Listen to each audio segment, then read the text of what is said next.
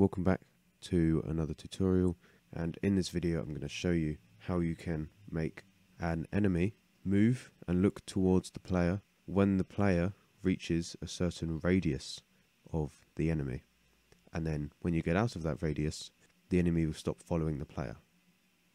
So what I've got here is just a simple scene with a player with a top down movement behavior and an enemy without a behavior. So what I'm going to do is I'm going to go into the events and I'm going to make a new event. I'm going to add a condition and I'm going to search for distance. And you want to find distance between two objects or you could look in common conditions for all objects and then position. I'm going to click on this and I'm going to choose if the player is in the radius of the zombie and let's say 200 pixels.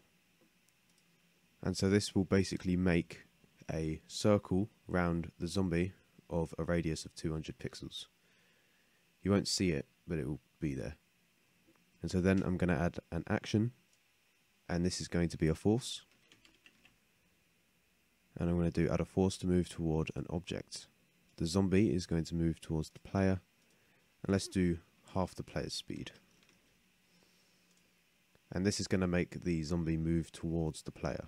So now if we play it, as soon as the player gets in the radius, the zombie moves towards the player. When the player gets out of it, it stops. So now we want it to rotate, and to do that we can just search for rotate.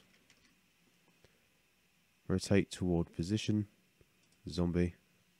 The position will be player.x, and the y will be player.y.